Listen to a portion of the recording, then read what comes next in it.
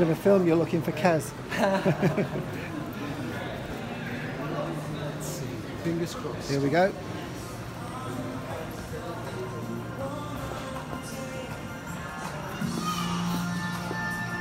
Excuse me, do you have Yes. a copy of the film Kes?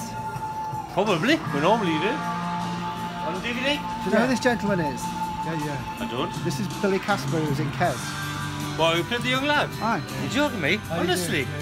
Do. Yeah, yeah, yeah. Fuck me, man. David Bradley. No, I don't want yeah. to. Thank you very I much. know. we normally do.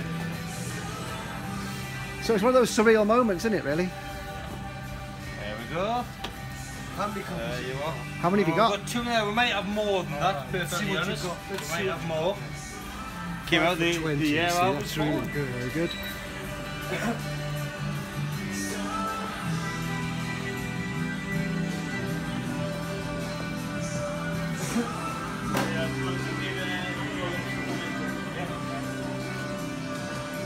Sorry.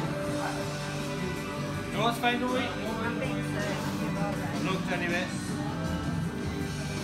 That may be on Hollywood Classics. It's in Hollywood Classics. Yeah.